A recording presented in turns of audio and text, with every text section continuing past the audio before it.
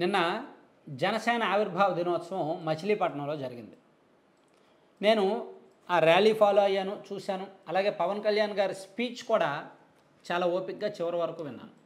సాధారణంగా మన రాష్ట్రంలో ఉన్న పొలిటీషియన్స్లో స్పీకర్స్లో పవన్ కళ్యాణ్ గారే బెటర్. పవన్ కళ్యాణ్ గారి స్పీచే కాస్త బెటర్. ఎందుకంటే స్పష్టంగా ఉంటుంది ఆయన చెప్పదలుచుకున్నది సూటిగా స్పష్టంగా చెప్తాడు. జగన్మోహన్ రెడ్డి గారి మాట అర్థం కాదు. అర్థమైనా సరే కొంత ఇండైరెక్ట్గా పూర్తిగా అది నిజమో అబద్ధమో తెలియని కన్ఫ్యూజన్లోకి మనుషులని ఒక ట్రాన్స్లోకి తీసుకువెళ్ళిపోయేలా ఆ స్పీచ్ ఉంటుంది. అందులో కూడా కొన్ని సింపతిక్ హావభావాలు సినిమాటిక్ ఎక్స్ప్రెషన్స్ ఉంటాయి.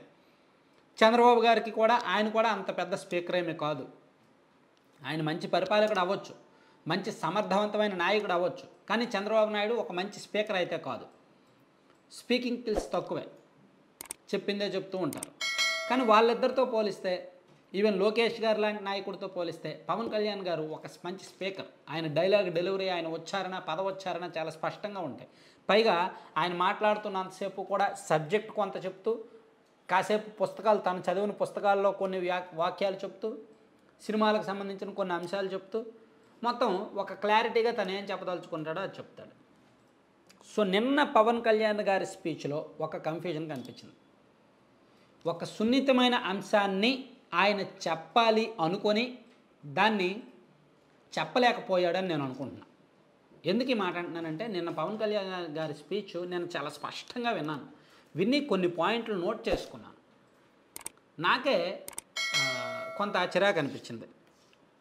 ఎందుకంటే ఆయన చెప్పాలనుకుంటున్నది చెప్తే మళ్ళీ ఏమనుకుంటారో అని వెనకడుగు వేస్తూ మొహమాటానికి పోయి కాస్త ఇబ్బందికరంగానే కులాల గురించే ఎక్కువగా మాట్లాడాడు ఆయన. సో ఆ స్పీచ్ ఫాలో అయిన ప్రతి ఒక్కరికి కూడా తెలుసు. పవన్ కళ్యాణ్ గారు మాట్లాడిన మాటల్లో డెబ్భై శాతం స్పీచ్ డిప్ ఓన్లీ కులాల ప్రస్తావనే వచ్చింది. చుట్టూ ఏదో ఒక టాపిక్ మాట్లాడడం మళ్ళీ కులం దగ్గర తీసుకురావడం. మళ్ళీ ఇంకేదో టాపిక్ మాట్లాడడం మళ్ళీ కులం దగ్గర తీసుకురావడం. సో ఇలా ఈ కులం గురించి మాట్లాడే సందర్భంలోనే తన సొంత కులం గురించి కూడా చెప్పారు. తన సొంత సామాజిక వర్గం గురించి కూడా చెప్పారు. రాష్ట్రంలో కాపులు అధికారంలోకి రావాల్సిన అవసరం ఉంది కానీ కాపులు అందరూ కూడా ఓట్లు వేయట్లేదు. అలాగే యువతకు సందేశం ఇచ్చారు. కులంలో కొట్టుకుపోవద్దు కులం అనేది అన్నం పెట్టదు కులం వేరు కులం పేరుతో సెంటిమెంట్ రెచ్చగొట్టే పార్టీలు కొన్ని ఉన్నాయి సో కులాలను మనం పట్టించుకోకూడదు అని కులం గురించి పట్టించుకోవద్దని చెప్పారు పరివర్తన రావాలని చెప్పారు అభివృద్ధి ముఖ్యమని చెప్పారు కులం గురించి ఎవరు ఆలోచించొద్దని చెప్పారు చెప్తూ చెప్తూ మళ్ళీ చివరికి తన సొంత కులస్తులు తనకు మద్దతు ఇవ్వలేదన్నారు.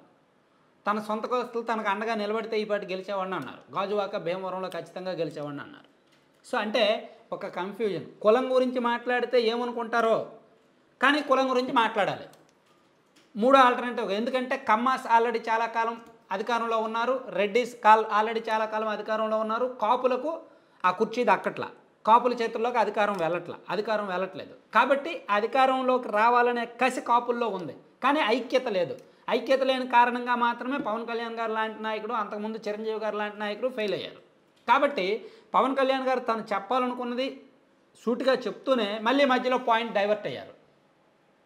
ఎందుకు డైవర్ట్ అయ్యారు? ఈయన కులం గురించే మాట్లాడుతున్నాడు ఈయన కూడా అందరిలాగానే కులాల ప్రస్తావన తీసుకొచ్చాడని ఎక్కడ అనుకుంటారో అని మళ్ళీ వేరే టాపిక్ చెప్పారు. వేరే టాపిక్ చెప్పి చెప్పి మళ్ళీ కులంలోకి తీసుకెళ్ళారు. అలా ఆయన మాట్లాడిన మాటల్లో నేను గంట నలభై ఐదు నిమిషాలు చెప్పి మొత్తం వింటే అందులో సెవెంటీ పర్సెంట్ మాటలు కులం ప్రస్తావనే ఉంది. కులం గురించి మాత్రమే ఉంది. వద్దని కావాలని వద్దని కావాలని సపోర్ట్ ఇవ్వాలని వద్దని పట్టించుకోవద్దని రకరకాలుగా పులిహార చేశారనమాట మొదటిసారిగా నాకు పవన్ కళ్యాణ్ గారి మాటల్లో కన్ఫ్యూజన్ కనిపించింది.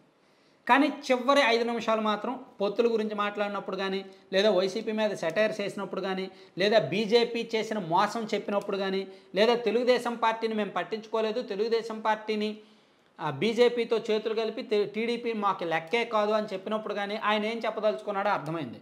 కానీ కులాల విషయంలో మాత్రం ఆయన చెప్పడంలో ఫెయిల్ అయ్యారు. ఆయన ఒక రకంగా కన్ఫ్యూజ్లో ఉన్నారు. ఏం చెప్తే ఏమనుకుంటారేమోనని కాస్త తప్పులుహారు చేస్తారని అయితే అనుకోవచ్చు. సో ఆ ఒక్కటి తప్ప మిగిలిందంతా ఓకే. చివరికి బయటపడిపోయారు.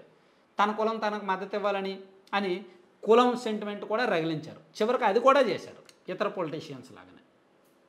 సో ఆ స్పీచ్ బాగా విన్న వాళ్ళకి అర్థమై ఉంటుంది. ఓపిక్గా రెండు గంటల సేపు గంటన్నర సేపు ఆ స్పీచ్ మొత్తం వింటే అప్పుడు అర్థమవుద్ది. ఆయన ఎంత కన్ఫ్యూజన్లో నిన్న మాట్లాడారు అని. ఆ కన్ఫ్యూజన్ ఎందుకు కులాల గురించి? ఏదో ఎప్పుడైనా సున్నితమైన అంశం మాట్లాడుతున్నప్పుడు రాంగ్ వేలో డెలివరీ అవుద్దేమోనని చెప్పి ఆ కన్ఫ్యూజన్ ఉంటుంది. ఆ కన్ఫ్యూజన్ నిన్న స్పష్టంగా కనిపించింది. రాంగ్ వేలోనే డెలివరీ అయితే అయ్యింది.